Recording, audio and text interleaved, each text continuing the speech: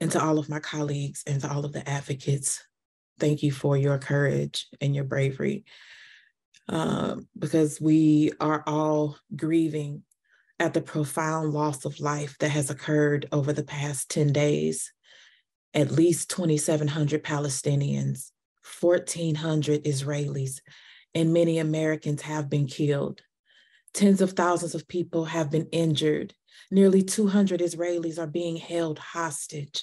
Families have been destroyed, and Israelis and Palestinians, Jews and Muslims are facing unimaginable trauma as they navigate this horrific moment. Adding to the crisis, the Israeli government has cut off electricity, food, fuel, internet, and up until yesterday, clean drinking water to Gaza.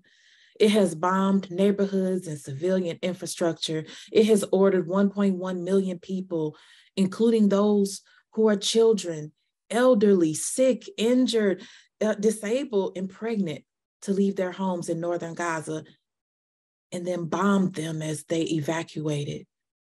Let, let me be clear. The collective punishment of Palestinians in Gaza is a war crime with a full scale invasion of Gaza likely imminent, hundreds of thousands, if not millions, of lives hang in the balance. And it's not only happening right before our eyes, it's happening with the support and the power of the United States government. And it is shameful. In addition to sharing my grief and sorrow, I want to affirm my strong belief that all, meaning all, all human life is equally precious. A, be- a belief that above all else, we must save lives. We must lead with love and solidarity. We must fight against violence and human suffering. As a pastor, I'm reminded in this moment of Matthew 5 and 9, which says, Blessed are the peacemakers, for they will be called children of God. This biblical call to facilitate reconciliation, not violence, could not be any clearer to me. And I think about another scripture in First Peter let him issue evil and do good, let him seek peace and ensue it. And this responsibility of peacemaking is not conditional, Mm-mm. it's universal. My beliefs are rooted in my experiences as an activist in the movement to save Black lives, where every day I marched and protested on the front lines in Ferguson, frequently joined by my Jewish and Palestinian siblings, one who is on the call right now, Sandra Tamari. Demanding an end to the violence, the brutality, and the oppression that is killing Black people in America. My commitment to ending violence, brutality, and oppression is not conditional, it's universal. My beliefs are so rooted in my experiences as a Congresswoman. My commitment to the people of Missouri's first district has always been to do the absolute most to save lives, starting with those with the greatest need. Over the past week, many of my constituents have called my office, leaving anguished voicemails, urging me urging all of us in Congress to stop a humanitarian a catastrophe in Palestine and Israel right now.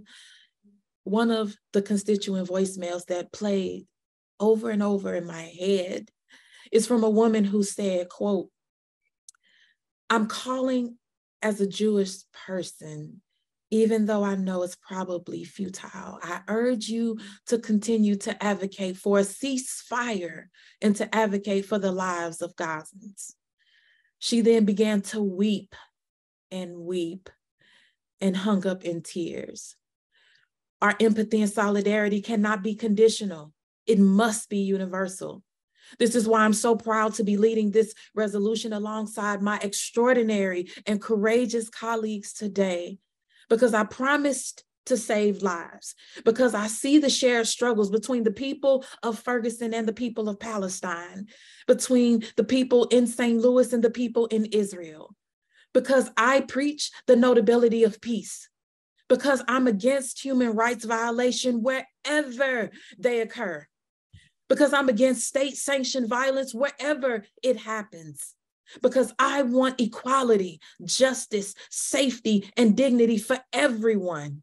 And because I have love for the Israeli and Israeli and Palestinian people who are suffering because of this violence and the inability of our governments to resolve the root causes of systemic oppression, military occupation, and the crimes of apartheid. And look, you don't have to be a pastor or an activist or a congressperson to understand the value of human life. You only need to be willing to choose the tougher course, the tougher course of love and peace over the easier course of hatred and violence. You must allow yourself to be consistent in your love and your respect for humanity. You must not let yourself turn a blind eye to the mass murder of Palestinians, even as we strongly condemn Hamas for its appalling attack against Israelis last weekend.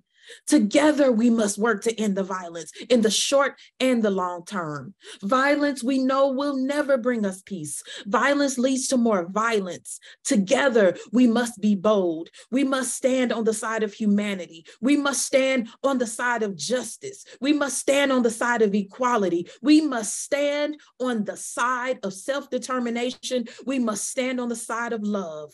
We must stand on the side of safety. We must stand on the side of peace, and we must be willing to speak out against war and violence and against our government's complicity in it.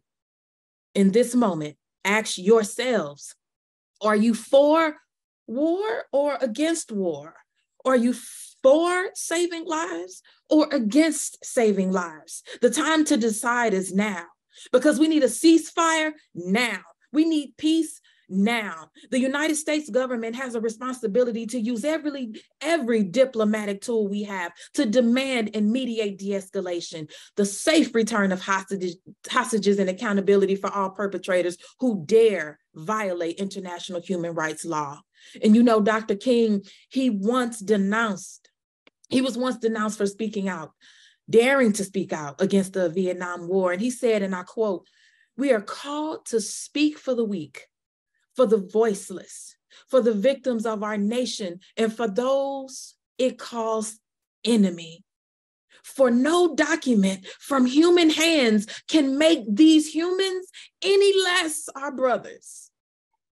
To my colleagues in Congress, I urge you to choose humanity, choose peace, choose love, choose courage, and join this resolution now. I'm so grateful to my colleagues and advocates and faith leaders, organizers, and affected people and families who are supporting this effort. Know that we will not back down until there is peace. We need a ceasefire now. Thank you.